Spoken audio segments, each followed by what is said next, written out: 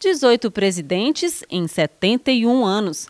A galeria marca a trajetória da OAB na maior cidade do leste de Minas. A 43ª subseção da Ordem dos Advogados de Governador Valadares tem presença marcante da Univale.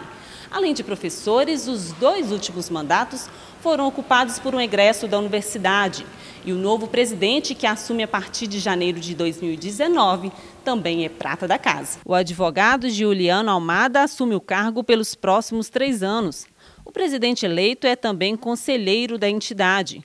Começou na OAB Jovem, passou pela Comissão de Esportes e agora espera deixar legado no novo cargo. Nossa gestão ela vai focar em quatro, quatro pilares principais, que seria a defesa das prerrogativas, a valorização da advocacia, é, a profissionalização do departamento de comunicação dentro da, da subseção e a educação continuada. Num segundo momento, dando continuidade ao trabalho que já é feito, nós pretendemos criar um curso de capacitação para os jovens advogados e os advogados mais experientes, de forma a prepará-los para que esses colegas consigam defender as suas prerrogativas inicialmente. Para a nova missão, Giuliano vem com ensinamentos do curso da Univale, base para a chegada até o cargo de presidente da OAB. Se não fosse a Univale, eu não seria o Giuliano Almada advogado, o Juliano Almada, presidente da subseção hoje.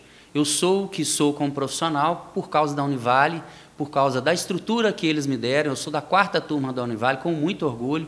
Nós iniciamos lá com muita dificuldade, mas os professores foram capazes o suficiente de nos preparar, de nos dar condições de alcançar os propósitos da profissão.